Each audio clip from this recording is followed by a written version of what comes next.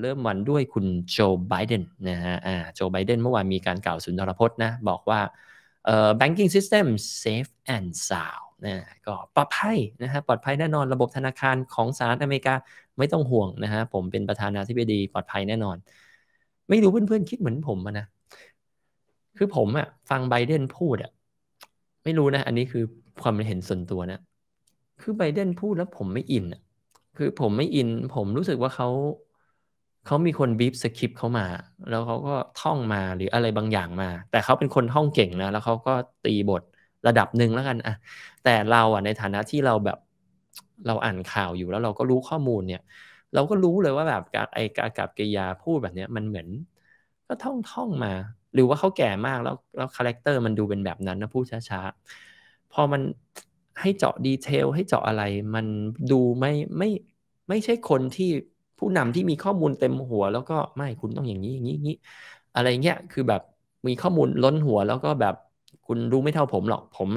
รู้อย่างนี้อย่างนี้ แต่ว่าเหมือนไบเดนพูดแต่ละครั้งเนี่ยมันเป็นแค่ มันเป็นสคริปต์อะมันเป็นแบบ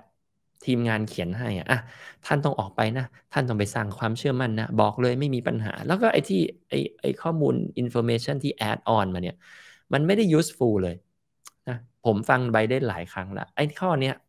เอาว่างตรงนะไอ้แบบเนี้ยสู้ทรัมป์ไม่ได้ทรัมป์เนี่ยไอ้นิสัยข้างในไม่รู้เป็นไงนะแต่ว่าไอ้ตอนหน้าสื่อเนี่ย ลูกล่อลูกชนมันมันเด็ดนะ มันเด็ด มันมันพูดแล้วเฮ้ยหรือว่าจากเรื่องไม่จริงมันพูดแล้วรู้สึกว่าเอ้ยหรือมันเป็นไปได้วะคือคือทรัมป์มันจะมีวิธีพูดแบบนี้นะฮะแต่ว่าอะโอเค แต่เราก็รู้ๆอยู่ทรัมป์เป็นยังไงนะครับ ก็อะดูไบเดนต่อนะพูดว่ายังไงบ้างนะครับ regulators I'm pleased to say that the regulators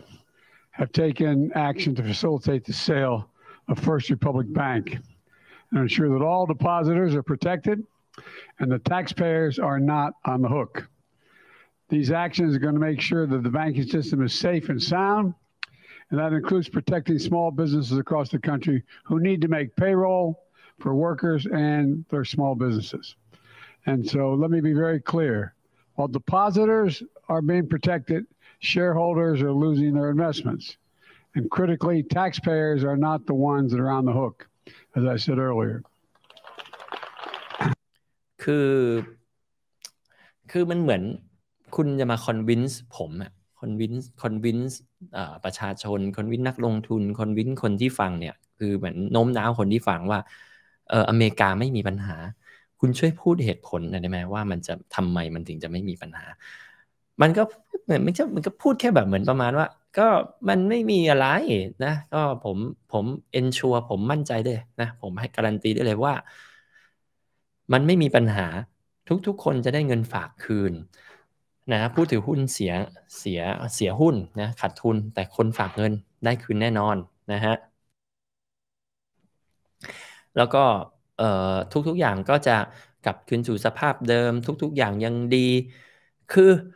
คุณช่วยบอกเหตุผลหน่อยว่า แล้วคุณจะเอาเงินที่ไหนไปให้ไอ้คนฝากนะฮะ ก็ในเมื่อ FDIC เนี่ยตังมีอยู่แค่ 2 0 0แสนล้านไม่พอคืนทุกคนหรอกนะฮะ แล้วคุณถ้ามันถ้ามันจะคืนจริงคุณก็ต้องปิ้นเงินเพิ่มอะเออคุณช่วยบอก solution ด้วยดิว่าไม่ต้องห่วงมีแน่นอนแต่มียังไงฮะเขาคุณมีไม่ถึงนะ มียังไงช่วยอธิบายหน่อยนะฮะ ก็เรื่องแบบเนี้ยไบเดนไม่เคยอธิบายนะฮะแต่ว่าก็เออก็ออกมาแค่กำปั้นทุบดินธรรมดานี่แหละว่า ก็มีก็มีนะพอมิสว่าปลอดภัยเนี่ยวิธีเนี่ยมันก็จะเป็นประมาณเนี้ยนะฮะไม่รู้เดี๋ยวผมก็เลยส่วนตัวนะรู้สึกว่าไม่ค่อยได้อินอะไรเวลาเขาพูดนะฟังแล้วไม่ค่อยได้ประโยชน์อะไรมากมายว่าเออคุณประธานาธิบดีเนี่ยมีข้อมูลมากกว่าเรานะที่เป็นเออเราเป็นนักข่าวเล็ก ๆ แล้วกันนะสำนักข่าวย่อยๆที่อ่านข่าวทุกวัน ปรากฏว่าเราเพอๆบางอย่างเราก็รู้สึกว่าเราแบบ ทำไมเขาไม่พูดให้มันลึกกว่านั้นนะเพราะว่านักข่าวเนี่ยข่าวเขาเขียนลึกไปไกลตอนไหนตอนไหนแล้วนะฮะคุณไบเดนยังพูดแค่นี้อยู่เลยนะเบาๆนะเขาวิเคราะห์ไปไกลแล้ว ขอบคุณคุณอิทธิพรนะครับสำหรับซูเปอร์แชทนะครับขอบคุณคุณที่สุดนะครับ อืมสคริปเขียนมาแค่นี้เออก็ตอบแค่นี้จริงๆนะฮะแต่ก็อะถ้าถ้าถ้าถ้าวิเคราะห์แค่ว่าสคริปต์นะคนแก่อายุ 70 กว่าขนาดนี้นักการเมืองขนาดนี้นะ ก็ต้องถือว่าอ่านสคริปต์ได้ดีแล้วนะ add on อะไรได้ธรรมชาตินะครับ แต่ว่าก็อย่างว่าไม่ได้รู้เรื่องการเงินอะไรละเอียดมากขนาดนั้นมันมันก็เลยวิเคราะห์ไม่ค่อยได้นะครับมันขาดเรื่อง analytic thinking เข้าไปนะมันเป็นแค่ท่องจำสคริปต์แล้วก็ให้มันดูธรรมชาติหน่อยแค่นั้นเอง Going forward, I've called on Congress to give regulators the tools to hold bank executives accountable, and I've called on regulators to strengthen regulations and supervision of large and regional banks. And folks, uh, we have to make sure that we're not back in this position again. And I think we're well on our way to be able to make that assurance. I'm pleased to say มันคุ้นคุ้นไหมคุ้นคุ้นไหมวิธีพูดแบบนี้นะฮะผมได้เรียกร้องไปยัง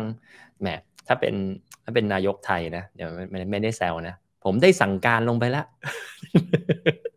เนี่ยคำพูดเนี่ยคุ้นคุ้นไหมผมได้สั่งการลงไปแล้ว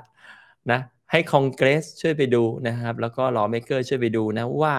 อย่าให้เกิดเหตุการณ์อย่างนี้ขึ้นอีกนะเฮ้ยเป็น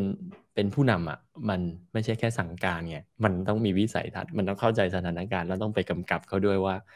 เขาต้องทำยังไงไม่ใช่สั่งการลงไปแล้ว แล้วจบแล้วหรอ จบแล้วนะตอบนักข่าวแบบนี้แหละ ผมสั่งการลงไปแล้วมันมีปัญหาเลยอ๋อผมสั่งการลงแล้วอย่าให้เกิดแบบนี้ขึ้นอีก